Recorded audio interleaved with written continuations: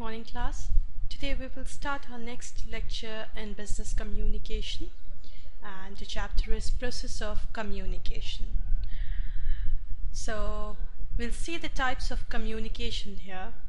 It is now understandable that communication is a two-way process. However, there can be one-way communication also. One-way communication is made only when the sender is sending and the receiver is get, getting the message. However, there is no feedback. So, uh, any kind of communication wherein there is no feedback, you've been given, or rather, uh, somebody has been told to do something and they have not been asked for an advice, for a suggestion, that can be a one-way communications. Let's see here. Uh, what are some of the examples of one-way communication? It can be a morning newspaper, you receive a newspaper, you read it, and that's it. You cannot give a feedback. Sometimes we see there is a spelling mistake in a, some of the articles. We cannot get a, give a feedback. So that is a one-way communication. They are communicating to you, but they do there is no feedback that can be given. A billboard message, we see advertising messages, uh, billboard messages on every road. So that is a, a one-way communication from the manufacturer, from the organization to us, to consumers. A weather report on television. Ingredients on a food items. When you take any food item, you see the ingredients. What does it say? They are communicating to you how this food is to be cooked. So, but we cannot give a feedback. Advertising, as I said. Some examples of two-way communication while speaking on a telephone, social media marketing, instant messaging. So these are two-way communications. We speak on a telephone, we're speaking to someone who can talk to us, who can uh, advise us, who can suggest us. So this is two-way. Social media marketing, Twitter these days is a, a very good example of two-way communication. You uh, give a message and you have an instant feedback you have an instant reply from any any person anywhere in the world instant messaging like Viber WhatsApp these days. The communication environment. Each of us live in an environment of signs and these signs are with us throughout the day. This is known as communication environment. We can easily detect these signs and our ability to detect these signs varies so what are some of the examples? Sign detection, sensory limitations, selective perception, varying alertness and perception. So uh, as uh, I would say that every every person is talking, we are communicating, we are talking. So uh, if you see everybody is communicating something or the other to each one of us uh, these are this is the communication environment. And uh, definitely we can detect these signs uh, uh, however uh, the signs varies. It varies. It can depend on us. It can depend on the environment but the sign varies. So let's see the first example of the communication environment which is sign detection. Uh, what what the sign detection means. It is a sign any kind of sign while communicating. Uh, if two people are communicating for example and uh, what what will be the communication environment? I'm talking to you. If there is a voice from another room that that is the communication environment. If there is a vehicle going and there is that noise that is coming while we are speaking to each other that is the communication environment. If a dog is barking that is the environment. So there are lots of voices and noise. This is called the communication environment. Sensory limitations okay so uh, what do we have? We have sensors we have five senses in our body.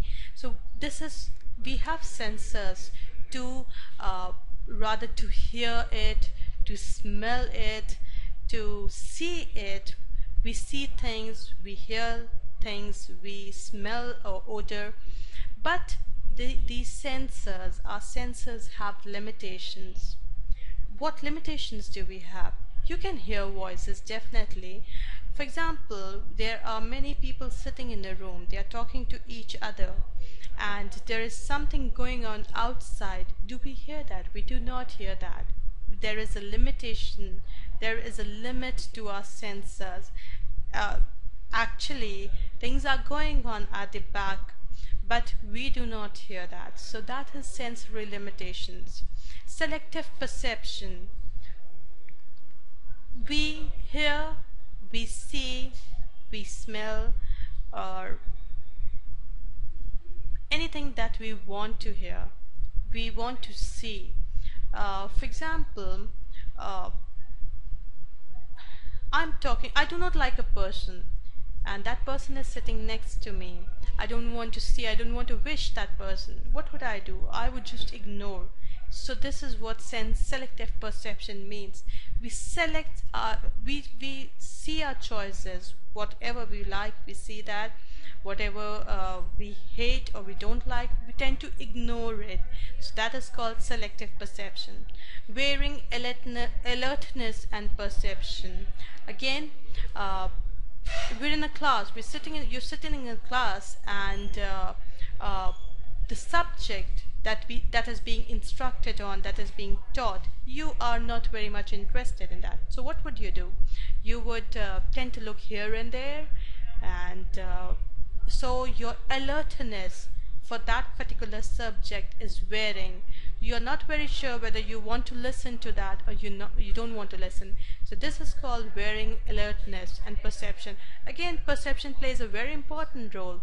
We we would see we would hear anything that we want to hear. We would ignore which is not likable to us. Uh, if somebody is telling you something you would hear the part of the sentence that you like. You may ignore the one that you don't like. Somebody is giving you a feedback. You would like the feedback which is good but some something is bad you tend to ignore that. This this is the communication environment.